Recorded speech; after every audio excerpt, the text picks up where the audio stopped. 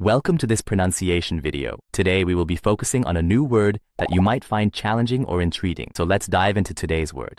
Messungen, which means, Messungen is the German word for measurements. let's say it all together. Messungen.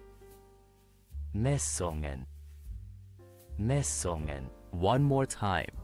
Messungen. Messungen.